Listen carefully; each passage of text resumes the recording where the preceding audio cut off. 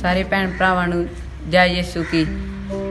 ਅੱਜ ਪਾਕਮਾ ਕਲੀਸਿਆ ਲੁਜ਼ਦਸ ਦੀ ਮਾਂ ਦੀ ਈਦ ਮਨਾਉਂਦੀ ਹੈ। 1858 ਈਸਵੀ ਵਿੱਚ ਫਰਾਂਸ ਦੇ ਇੱਕ ਸ਼ਹਿਰ ਵਿੱਚ 11 ਫਰਵਰੀ ਤੋਂ ਲੈ ਕੇ 16 ਜੁਲਾਈ ਤੱਕ ਮਾਂ ਮਰੀਮ ਨੇ 18 ਵਾਰ ਬਰਨਾਦਿਤ ਨੂੰ ਇੱਕ ਗੁ- ਲੁਰਦਸ ਦੀ ਇੱਕ ਗੁਫਾ ਵਿੱਚ ਦਰਸ਼ਨ ਦਿੱਤੇ। ਮਾਂ ਮਰੀਮ ਦੀ ਸੰਤਨੀ ਬਰਨਾਦਿਤ ਦੀ ਬੇਨਤੀ ਦੇ ਰਾਹੀਂ ਉਸ ਗਰੋਟੋ ਦੇ ਉੱਤੇ ਇੱਕ ਚਰਚ ਦੀ ਸਥਾਪਨਾ ਕੀਤੀ ਗਈ। ਜਦੋਂ ਇਹ ਅਨੁਮਾਨ ਲਾਇਆ ਗਿਆ ਕਿ ਇਹ ਚਰਚ ਛੋਟਾ ਹੈ ਤਾਂ 1901 ਈਸਵੀ ਵਿੱਚ ਉਸ ਥਾਂ ਤੇ ਰੋਜ਼ਰੀ ਚਰਚ ਦੀ ਸਥਾਪਨਾ ਕੀਤੀ ਗਈ।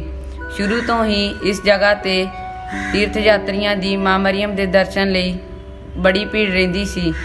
1872 ਈਸਵੀ ਵਿੱਚ ਜਦੋਂ ਜਦੋਂ ਇੱਥੇ ਬਹੁਤ ਸਾਰੀ ਤੀਰਥ ਯਾਤਰੀਆਂ ਦੀ ਗਿਣਤੀ ਪਹੁੰਚੀ ਜੋ ਕਿ ਫਰਾਂਸ ਤੋਂ ਆਈ ਹੋਈ ਸੀ।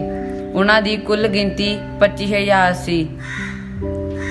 ਜੋ ਲੋਕ ਇੱਥੇ ਆਉਂਦੇ ਸਨ, ਉਹ ਆਪਣੇ ਦੁੱਖ ਬਿਮਾਰੀਆਂ ਤੋਂ ਸ਼ਿਫਾ ਪਾਉਂਦੇ ਸਨ।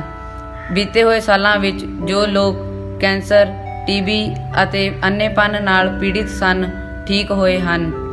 ਮਾਂ ਮਰੀਮ ਦਾ ਸੰਦੇਸ਼ ਸੰਤਨੀ ਬਰਨਾਦਿਤ ਦੇ ਰਾਹੀਂ ਇਹ ਸੀ ਕਿ ਸਾਰੇ ਲੋਕ ਆਪਣੇ ਪਾਪਾਂ ਤੋਂ ਪਛਤਾਵਾ ਕਰਨ ਅਤੇ ਖੁਦਾ ਵੱਲ ਮੁੜ ਆਉਣ।